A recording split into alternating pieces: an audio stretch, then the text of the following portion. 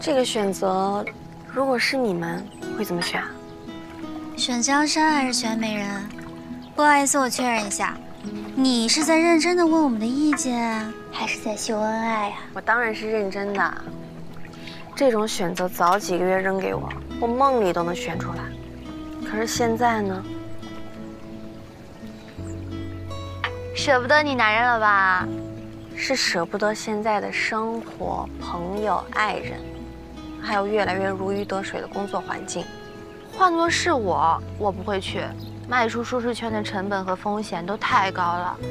一旦回到北城，就意味着要再次回到一个人租房、一个人加班，回到家还只能吃外卖的日子。还有啊，就是要重新适应新环境。那一直待在舒适圈，放弃成长。你甘心吗？肯定不甘心啊！就算他现在同意了，也保不准日后会后悔。到时候啊，情绪堆积，怨你耽误他搞事业，这可比暂时的异地可怕多了。是不可怕，这两地分居的家庭，出轨率也就百分之四十五，这都还没过半。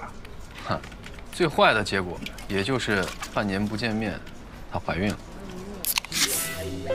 瞎扯淡！我也没见那些天天腻在一起的就天长地久了。再说了，现在通讯这么发达，又不是异国，还有时差。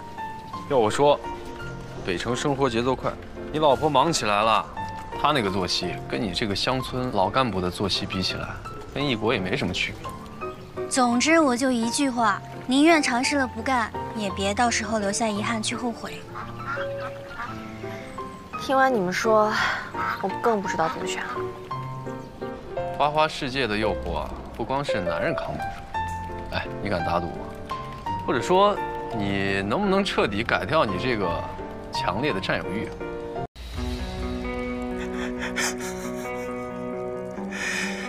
我这副恶心的样子，不也有你的功劳吗？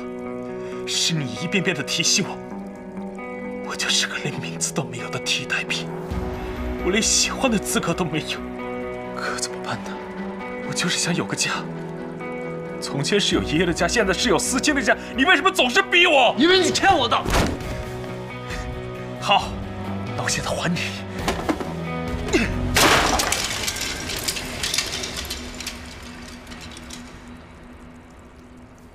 过去我跨不过去这种坎，是害怕失去他们。可现在，我还有什么？你个疯子！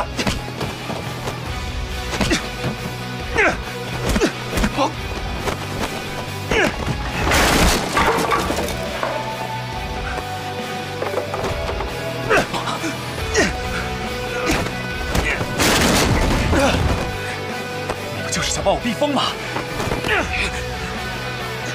你明知道我最在意的就是他，我什么都没跟他说过，说什么都比不上亲眼所见。你猜他看到你现在这个样子，还会不会养你？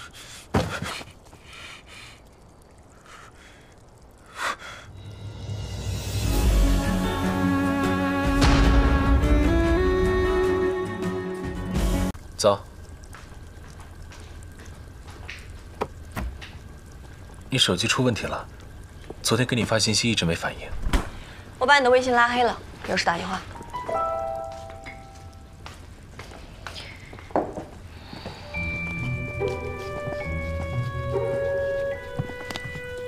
你生气是因为我瞒着你找工作，还是大哥跟你说了什么？你说呢？思欣，你别这样。我这样你会很烦吗？不会。会跟我离婚吗？当然不会。既然没什么损失，有气儿干嘛不撒出来？憋着自己找罪受。来吧，咱们一起碰个杯，祝陈哥生日快乐！来，生日快乐！生日快乐！我操！生日快乐！谢谢。哎，等会儿我拍个照去。你们俩稍微矜持一下会死吗？你一天不发微博会脱粉吗？哎，说到脱粉，你们有没有看我下午那段戏啊？我是不是把情绪铺垫的非常到位？陈哥，把醋给我。叫的不是你，叫的是那个琛哥。你们没看到下午我跟琛哥说这个话的时候，他那个表情跟反应？哎呦，那可怜的小眼神要不是我信念感强，那肯定当场就反水穿帮了。你少给自己加戏了，你就是个过场。是是。论演技，我当然比不过在座的各位大佬了，尤其是学姐，临时加台词还能把因爱生恨表现得那么淋漓尽致。什么加台词啊？一开始我根本就没打算陪你们玩这么幼稚的生日惊喜。我去酒店只是因为不甘心，想要求证某人是否真的甘愿为了老婆放弃梦想。毕竟以前跟我在一起的时候，你可是心心念念都是原则啊、报复啊。现在看来不过如此。在泡男人这件事情上，输给女性同胞的我，总比输给他们更容易接受吧。陈哥，这话怎么听起来哪儿不对劲呢？是哪儿都不对。能不能管管你老婆？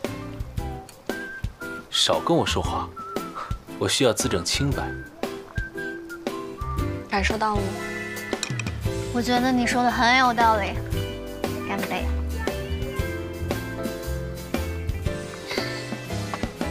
那天我说我为过去感到不值和不堪，那都是气话。但是我说我真的放下你了，那是真心的。老同学，以后请多关照。你们俩呀，好好的，来吧，干杯！Happy birthday to you. Happy birthday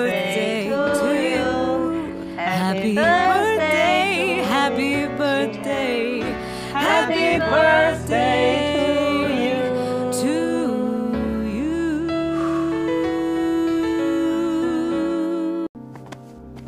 没问题个鬼啊！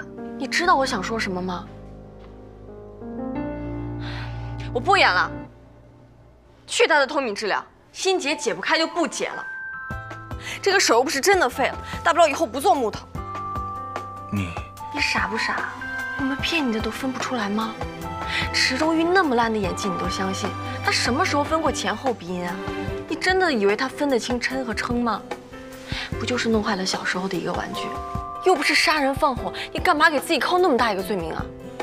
至于郑小玉强，正好了，我也是。我们一个锅配一个盖，愿打愿挨，谁也没祸害谁。外人少在这胡折腾、瞎操心。